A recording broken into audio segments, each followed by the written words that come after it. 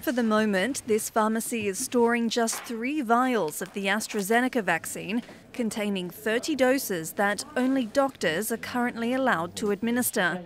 But as of March 15, pharmacists will have the green light to vaccinate and patients will no longer need prescriptions. Nous, en pharmacie, on est capable de vacciner, on a le personnel. L'acte de vaccination n'est pas un acte euh, médical très compliqué, il suffit juste de le faire dans les bonnes conditions, dans les bonnes normes. France has come under criticism for slow progress in its vaccination drive, but the government is hoping to accelerate the effort. From this weekend, 135,000 doses will be delivered to 23 of the hardest hit administrative regions.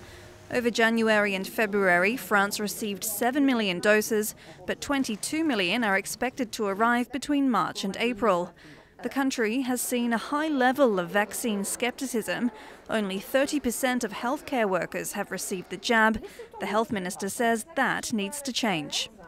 Je vous le dis en franchise, quand on est soignant, il est de notre responsabilité de se protéger soi-même et d'éviter d'exposer ceux dont on prend soin au risque d'un virus qui peut les percuter durement.